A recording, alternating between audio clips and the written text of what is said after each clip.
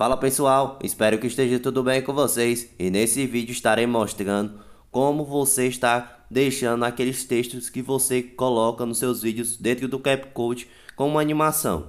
Então se liga no vídeo até o final, mas antes se inscreve no canal, ativa o sininho de notificação e deixa aquele seu like para estar contribuindo com a família JTech Phone.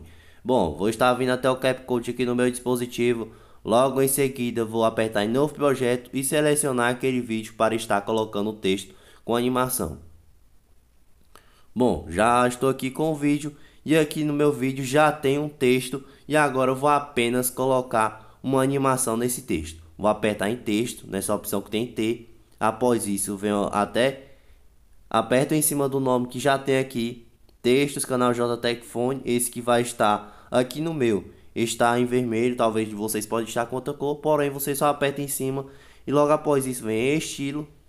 E aqui dentro terá a opção de animação, você aperta em cima e terá a primeira opção que vai ser de entrada.